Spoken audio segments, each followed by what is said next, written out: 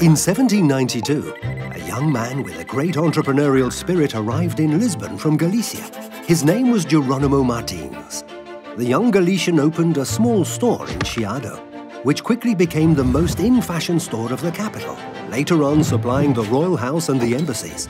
Throughout the 19th century, the store prospered, got famous, and built a reputation of its own.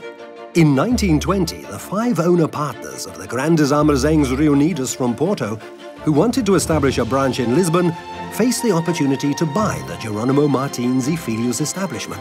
Attracted by the reputation of the Lisbon store, they reached an agreement to purchase it for 1 million escudos. However, the financial situation of the firm was much worse than expected, and only two of the five partners agreed to move ahead with the deal. They were Eliseo Pereira do Val and Francisco Manuel dos Santos, until 1925, they carried out a courageous major restructuring of the Jerónimo Martins establishment, which gave new life to the business. In 1938, Francisco Manuel dos Santos appointed his son-in-law, Eliseo Alexandre dos Santos, to take over at the helm, and he strategically changed Jerónimo Martins' activity by investing in the manufacturing area.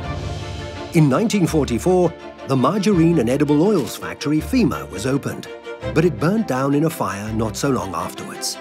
Five years later, in 1949, Jerónimo Martins establishes a partnership with Unilever, whose products it had already been representing in Portugal for years, for the development of the margarines and detergents businesses.